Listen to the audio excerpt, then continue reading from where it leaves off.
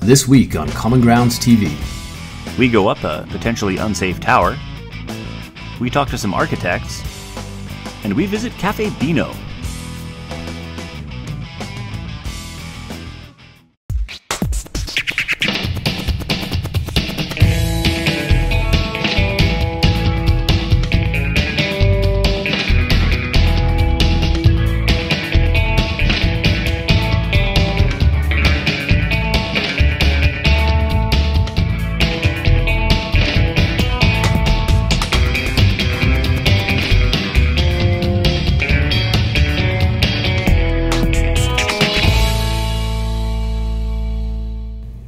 While Saskatchewan was a blast, we were excited to see what lay ahead in the land of oil and wheat.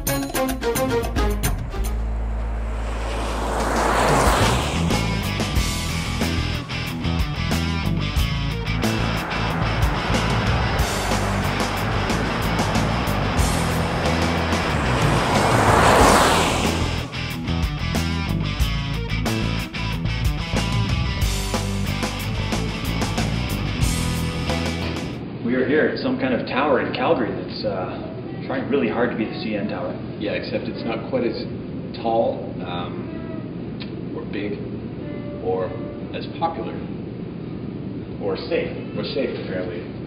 Got up here and realized it's broken, so uh, we're not walking on the glass floor for anything. Uh, we are going to introduce coffee here. Um, we're going to check out a couple of cafes here in Calgary. We're going to talk to an architect, get his opinion, actually many architects, get their opinion on uh, what the coffee shop is within the urban context.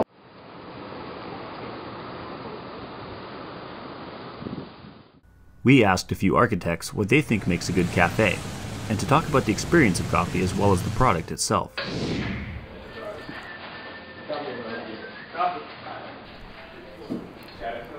We mean well at Global Authority, but sometimes it just kind of goes wrong.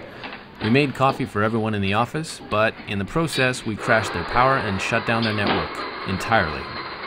Our bad. Can't believe we shut down their entire network. Well, anything else needed? All for one thing. Free coffee at the expense of your whole business. They're like, well, I don't want to buy another gallon. But I don't have enough to finish this like last little piece. Round two comes up. Sean said good, good. Let's give to Sean. I'll do coffee for sure. Sean, I know Sean. sort of how the city, how urban dwellers interact with the city. You know, using the coffee shop as an example, I, I remember when we were in Barcelona, we started to look at the 30 square meter apartment and how people started to appropriate public space as their own since their living space was so small. And as we've been going around, we've, we've seen that people really have adopted different cafes as their own. but like it seems that coffee shops have become kind of the third place. Like it's something that starbucks i know refers to. So that work is one home is one and then third place they want to be that right? That's why they have couches and all that shit. Ooh, did i say shit. Um, chop. Uh, nothing i said was worth showing anyways. Um, so that's kind of an interesting thing and to build on what tony was saying like it's it is really interesting like if you go to kensington there's three coffee shops within whatever like a one block sort of radius of one another you have the roastery you have starbucks and you have higher ground and it's amazing like they all serve virtually the same thing right like at a certain level coffee is coffee I know that we're going to argue probably differently. Um, but like you can get an Americano at each. I don't feel comfortable going to the roastery. It's like I, I my like pants aren't tight enough. I don't have enough like patches or zippers and I don't have a tie-dyed mo- mohawk, so I can't go to the roastery. It's a really odd thing because like there's this little microcosm of people that feel comfortable and identify with the roastery. Mm-hmm. At the same time, if you go to higher ground, a good chunk of the people are there with their MacBooks, right? Like it's kind of an odd thing, right? And then Starbucks is it's the same Starbucks as you'd find everywhere else. It's, so it's kind of a funny thing. Like if you look at that example, like they're all drawing from the same crowd of people, right? It's all people that are in Kensington, but like people will cluster in different places. So you're saying it's, it's interesting because we've been seeing sort of two strata um, within the coffee shop. There's the independents that are offering a highly specialized drink and offering that environment and sort of that that platform for discussion, that space for discussion, the exchange of ideas. And we're seeing a lot of them move away from things like free Wi-Fi, so people don't sit there with their laptops in an isolated little bubble and just ignore everybody. Whereas you've got some of the main chains that are offering free Wi-Fi as the big drawing card, and you've got 40 people all in their little tiny unit and not interacting at all. You have your but MacBook we- screaming you're unique, sitting next to 40 other people with a MacBook screaming I'm unique. Like it's yeah, it's, Yeah, but we were discussing that phenomenon a mm. while ago because that seems to be, is it the Purple Perk on 4th? Yeah. You go there, I've- I've only been a few times. You walk in and, and the, the seating is kind of staggered or, or tiered. And then everybody, as soon as you walk in, you turn and you see, and everybody looks up. So you have all these MacBooks in a row, and they all look, they're all looking at you. And then you, then you're, yeah, and then yeah, carrying your Dell, and then you're buying a coffee, and then people are just kind of looking around. Like their laptop is really this little bubble that they can navigate. They can hide themselves, or they can engage others, and it's just really this kind of very safe, mediated social experience. You know that mm-hmm. they go to a coffee shop knowing there's going to be all kinds of different familiar and unfamiliar faces, and then they can kind of decide how intensely they want to kind of engage those people. It's kind of mm-hmm. a bit kind of artificial. you Kind know, of and- replaced the book in the coffee shop, though, Yeah. right? Because the book Yeah. offered the same thing. It was something to either hide behind or something to even strike up a conversation to get But- something started.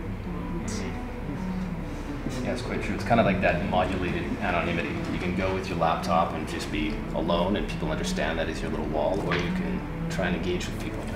These places that are really talking about becoming part of the fabric of the neighborhood are really trying to establish that and not just be a space where people, like you say, can just show up for that convenience coffee mm-hmm. and be in and out and not really have any kind of experience. These places are more punting an experience than just a product.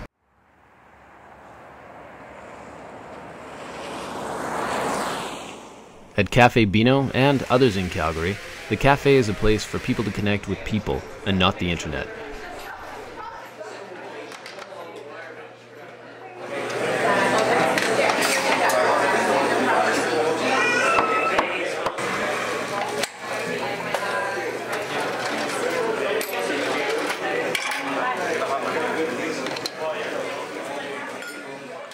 My original partner, Janice Beaton, built it in 1990, and it was a quarter of the size it is now.